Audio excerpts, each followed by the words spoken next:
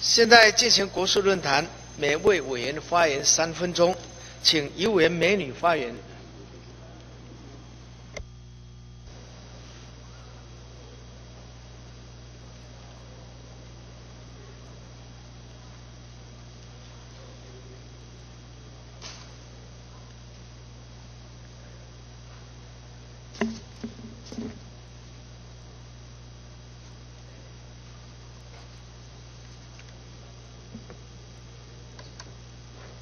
主席王院长、我们的陈院长、江副院长以及在座的各位官员以及我们的同仁、各位媒体朋友们，大家早。呃，我们的马政府号称以人权治国，我们也签署了两公约，也签署了公消除对付一切形式歧视的公约。这三个公约也都通过施行法，在今年。CEDAW 公约消除对妇女却刑事歧视的公约也都要已经上路了，但是我们看到我们的人权是不是真的启动了？非常遗憾啊，不只是我们的啊委员们的言行，可能在一个性别盲的情况之下，也都不小心可能去伤害到某些的族群，所以这一部分我们可能要更加的小心。所以呢，在这里本席建议，我们应该在立法院尽速的依照 CEDAW 公约所规定的，应该要在立法院设立一个监督 CEDAW 公约的一个专责的机制，让我们大家呢都能够信守公约。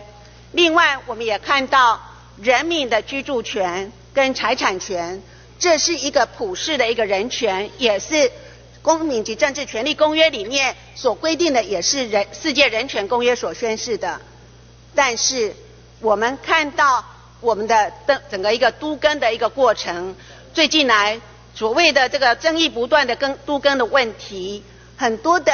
居民他住的好好的，突然一个都更说你家要被拆了，甚至呢政府也用这个所谓的都更条例的这样一个规定呢，来要他限期走路，要他抢拆民宅，这样的一个事件呢，造成人民怎么样人心惶惶。那我们来看看都更的到底什么叫做都市更新？都市更新它最主要的是说鼓励民间参与协助政府来改造市容所采取的一种行政措施之一。它不是宪法上的一种强迫人民你必须要绝对去遵守的义务。所以呢，人政府呢，它不能够来以消极的来妨害行使他人的一个权利，用透过政府的一个公权力。透过多数决的暴力来讲抢签，要求你马上走路，把你的土地拿走了，把你的房子拆掉了。所以呢，对于都更呢，那甚至呢，怎么样污名化这些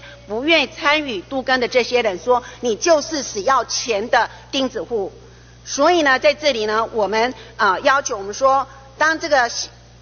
房子对于这些不愿意都更的人而言。因为其实它不只是一个居住的权利，也不只是一个财产权，其实它更代表着它的一个历史的记忆。所以呢，当都市更新只剩下建商用怪手来铲平老旧的房屋，抹去原有的都市纹理，重建高楼大厦的时候，我们的城市将成为一个没有记忆的城市。谢谢各位。